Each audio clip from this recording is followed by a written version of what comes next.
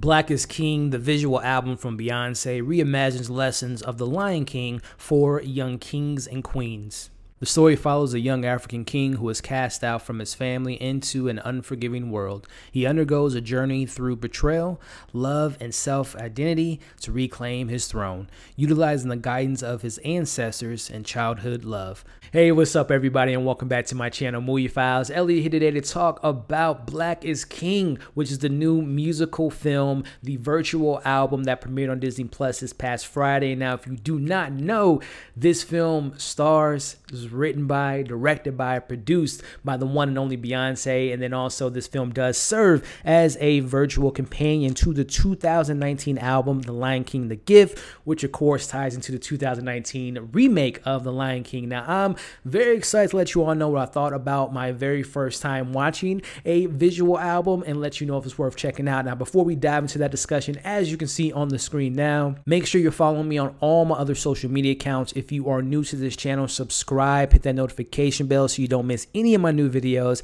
Make sure you give this video a thumbs up. Helps out the channel tremendously, but I also really appreciate it. And last but not least, if and when you've seen Black is King, let me know what you all thought about this musical film, this uh, visual album. If you've seen her other visual albums, is this your favorite one, your least favorite one? Let me know all your pros, your cons in the comments below. So a little backstory about me and Beyonce. Am I a fan? I'm not a fan. So I grew up in the 90s, so of course I know who Beyonce is. I've been following this this this incredible artist since the 90s regarding Destiny's Child and the many different versions of that Destiny's Child group. Sir, her going into her solo career, her going into acting, her becoming this producer, this director as we know her as today, and just seeing her become an icon. You know, even though I'm not the biggest Queen Bee, you know, I'm not buying all albums, I haven't heard all her music, but I respect her hustle. And, and and this undertaking, this three year deal that she has with Disney, where she's going to be doing other, I guess, visual, virtual visual albums and doing maybe other feature length films, and maybe she's going to star in Black Panther 2 as Storm. Who knows what the future holds? But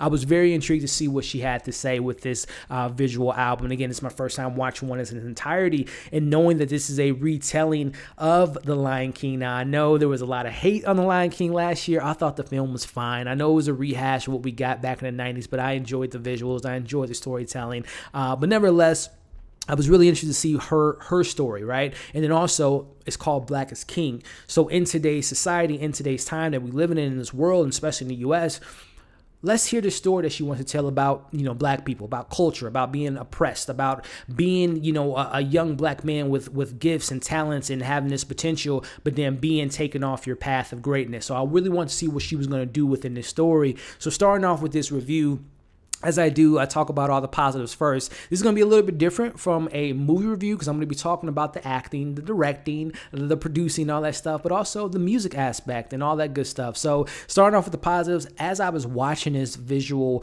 uh, album and, and, and after I got done watching it, the first thing that came to mind was, God damn, that was beautiful. Back in the day, TRL, BET, you know, 106 & Park, music videos were the thing, right? But as the years went by, albums became less of a big deal. It was more about pop hits, more about singles, it was more about Spotify and iTunes. So again, this being my first time sitting down watching a visual album. There's been many before this, obviously with Beyonce herself, with Lemonade and Beyonce. I've seen different clips from those. I've seen the actual music videos of those individual songs, but never sitting down in its entirety. And this isn't nothing new, by the way, too, guys. You know, I think of Michael Jackson and Thriller. I think of uh, Pink Floyd. I think of the Beatles. I think of even R. Kelly, Trapped in Closet. So this has been done before, but the thing that Beyonce did was she's taken that medium and expanding upon it. And then you have the backing of Disney. She has this, like I said, three-year deal in the work. So that's something that I really admired about this film was the production value. Now, this film, this virtual, uh, this visual album spans between Berlin. We're going to London. We're in West Africa. We're in LA. I mean, the global scale of this was incredible to me again the culture the the being represented on the screen. Again black is king. You're seeing this story. That's one of the positives too. The story of seeing this young man who was born for greatness. He is a band he's kind of taken away from his family and you'll, you'll see that in the, in the album. But then you're seeing him meeting new people and how these people can influence him. And he has this path of greatness but then he's getting distracted you know? And i love that kind of storyteller element. And also you know the idea of embracing your blackness, embracing who you are as a person. I love the themes in this visual album.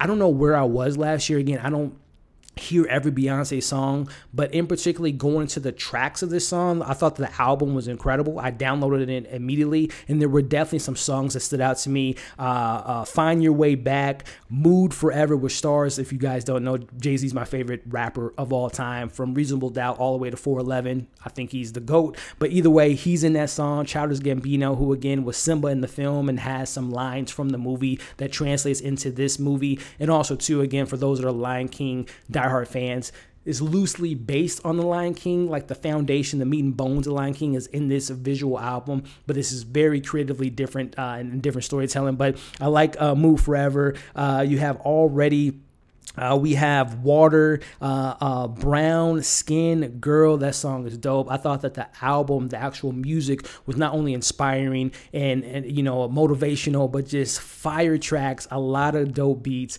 and just again the lyrics and everything that goes into it encompass encompass the the theme of culture, embracing your ancestors, knowing about your history, knowing about your blackness, knowing about your greatness, and embracing that. That's something that I really admire about this story. Is again Black is King is very African centric, it's very culture based in the black community. But I still think, even though this might not be for everybody out there, I still think everyone can pull something without of that story, without of those themes. Having being born into a certain family and then being distracted about your greatness, or having this particular uh, persona or this uh, prejudice or discrimination against you and, and breaking out of that mold. So I think anyone and everyone can take something out of the story being told. Again, I was very impressed by the visuals. I love seeing seeing the uh, you know Jay Z making an appearance. I thought the aesthetics, the look, the costume design, the visual design of this film was gorgeous. Get into some of the criticisms. It is a film per se. The acting sometimes, I'm not a big Beyonce acting fan. I thought she was, you know, when she's doing her dance moves and she's getting it in her tracks, she's killing it. But as an actress, I really don't feel those emotional beats. You know, Jay Z, my favorite rapper, not necessarily my favorite actor or performer, but you know, he was okay. But I think the the highlights for me were the the young boy that was playing Simba essentially, and you seen him become a man, and then also the young lady that was playing his queen. I thought that those two actors and the actresses in these films were great. The African artists that were actually on the tracks and the and the backup dancers and, and the choreography within this was incredible. So minor criticisms, the acting wasn't always there, and also when you're looking at it being told as like a, a, story, a through line, a narrative, sometimes it got, you know, you get distracted because she's going into her own songs and sometimes the songs don't correlate with the actual story that's being told. So sometimes a little bit of a distraction, you take a little bit of a subplot if you want to look at it as a film, but that wasn't a big thing. But the biggest thing as far as the negative was sometimes the acting wasn't all the way there. But nevertheless, for this being my first time sitting down watching a visual album directed, written by, starring Beyonce, backed by Disney, I was pretty impressed. I recommend you all check it out. And when you do, let me know what you thought about it. Let me know your favorite track, your favorite scene. Uh, I'm going to be checking out some of these artists that I never heard of because they were dope to me. And again, I download the album and I can't wait to check it out on repeat. So again, let me know your pros, your cons, your favorite track, your favorite moment. And if you are going to look forward to seeing more of Beyonce's virtual, visual uh, musical film. So let me know your thoughts in the comments below. As always, like, share, comment, subscribe, hit that notification bell so you don't miss any of my new videos. Make sure you watch the replay of my Guardians of the Galaxy watch along. I got many more things coming this week from Perry Mason review, the season finale of Doom Patrol. There's some stuff coming out on Netflix and a lot of great content coming to you all. So I hope you enjoy. Have a great week. See you soon in the next video. Thank you for watching. Stay safe, and we'll be back soon.